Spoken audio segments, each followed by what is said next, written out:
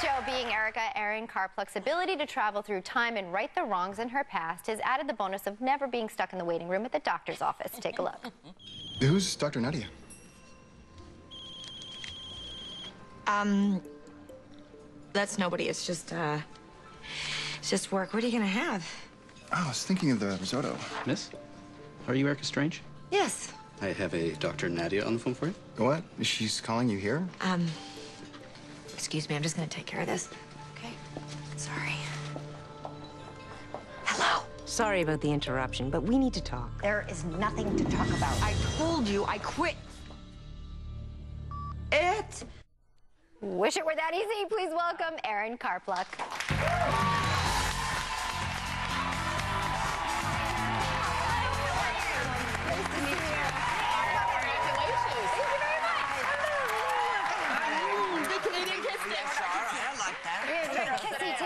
Today on The View. So this is the second season premiere tonight, right? Where you actually go, you're able to go back in time and right all the wrongs. So how does your character do that? Is it all teleportation? What's, give us the rundown. Oh, the actual scientific explanation for it, I'm not 100% sure, to be honest. We do in season two, we go more into the time travel. Um, Erica meets Dr. Tom. Yeah. who is a mysterious therapist, and he sends her back in time.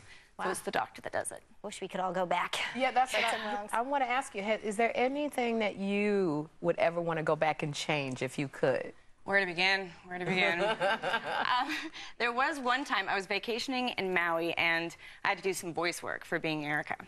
And production was kind enough to fly me to Honolulu to do it. So I was very excited. So I put my favorite sundress on, my big shades, and I bought this knockoff bag from the farmer's market.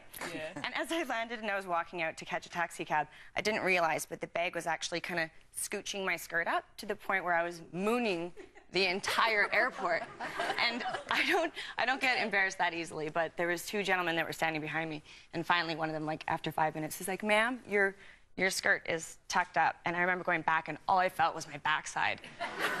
and then his friend turned to me and he's like, I wasn't gonna say anything and and so anyways, mortified and, I That is the worst in. when you're wearing the wrong underwear. Yeah, it was not full You were we- you were wearing underwear. I was wearing uh, Okay. underwear, yes. Okay. Yes. Oh yeah. No, that's okay. Still quite mortifying. I, I've tucked my skirts into my pantyhose many times.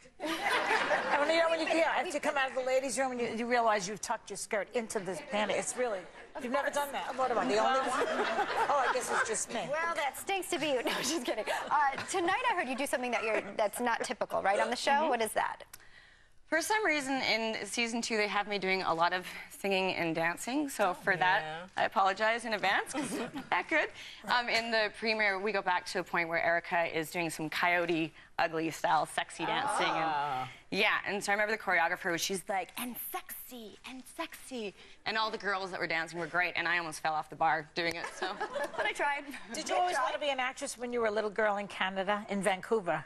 Um, I grew up in a very small town in Jasper National Park in Alberta, and Oh, it's I- not Vancouver. No, I live in Vancouver now. Now, oh, I see. Yeah. I love it. So it's beautiful Were there. you an actress when you were little? Did you want to do this? We didn't have drama in Jasper. I, I played Mm. hockey and, and went skiing, and I actually accidentally got accepted into uh, the University of Victoria as a theater major in Oh. fine arts. And my mom's like, "You are not going to be an actor." And and so I called the department. and They said, "Well, we only accept one in five. So if you're at all interested, go for We'll it." take And- you. Yeah, and so there I was four years later, and and it was a very happy accident. Well, I mean, this is so great because your show is seen in over 30 countries. Mm-hmm. You got this huge billboard in Times Square. So how are you handling it, girl? I haven't seen it yet. My friend took a picture, and she. Oh, is that it? Yep. There it is. Big.